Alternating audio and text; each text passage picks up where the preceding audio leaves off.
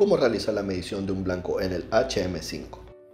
Asegura la calidad de analizador, reactivos, mangueras de reactivos. Se realiza un blanco después de cambio de paquetes reactivos, limpieza por remojo, limpieza fondo, autocomprobación, reiniciación del HM5. Seleccione analizar. Seleccione ejecutar blanco. Seleccione OK. Si es blanco inaceptable, seleccione repetir blanco. Si los resultados son inaceptables nuevamente, comuníquese con el soporte técnico. Si los resultados son aceptables, seleccione aceptar. Listo para usar.